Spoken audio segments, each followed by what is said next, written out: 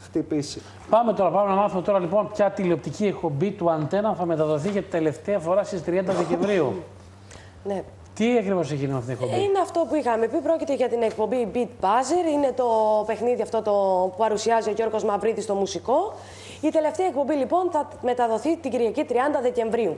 Να πούμε όμως ότι έχουμε κάποιες νέες πληροφορίες. Από την αρχή λοιπόν η εκπομπή αυτή δεν έκανε υψηλή τηλεθέαση, είχε πολύ χαμηλά νούμερα. Και είχαμε πει ότι ο Αντένα σκέφτεται ε, να διακόψει το πρόγραμμα. Τελικά, όπως φαίνεται, το πρόγραμμα αυτό δεν είχε σκοπό να κοπεί. Ήταν συγκεκριμένα τα επεισόδια που θα βγαίνανε, Ναι. καθώς λέει η εκπομπή είχε φιλανθρωπικό χαρακτήρα. Και τελειώνει ακριβώς όταν ήταν να τελειώσει. Έτσι λένε τα στελέχη του Αντένα. Άρα δηλαδή ο σταθμός λέει ότι ήταν προγραμματισμένο Ήταν για συγκεκριμένα προγραμματισμένο μέχρι επεισόδια. εκεί, ναι. Κατεβαίνει η εκπομπή όπως έχει. Χωρίς να υπάρχει κάποιο πρόβλημα, παρόλο που έκανε πάρα πολύ μικρά νούμερα τηλεθέασης. Νούμερα τηλεθέασης για κλάματα. Ε, ναι, ήταν. Με 3, 4 και 5%. Μονοψήφια. Πάμε τώρα Τόσα όμως. διακλάματα ήταν. Πάμε τώρα όμως να δούμε λίγο το,